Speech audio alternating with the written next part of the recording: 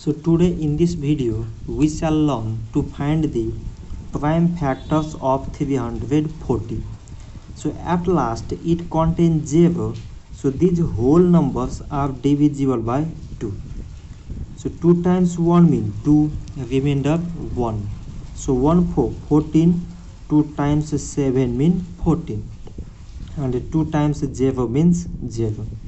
So again it has 0 at last so it is divisible by 2 so 2 times 8 means 16 remainder 1 so 1 0 10 so 2 times 5 means 10 so now we have 85 and it has 5 at the last. So it is divisible by 5 so 5 times 1 means 5 remainder 3 so 3 5 35 so 5 times 7 means 35 so now we got 17 which is our prime number.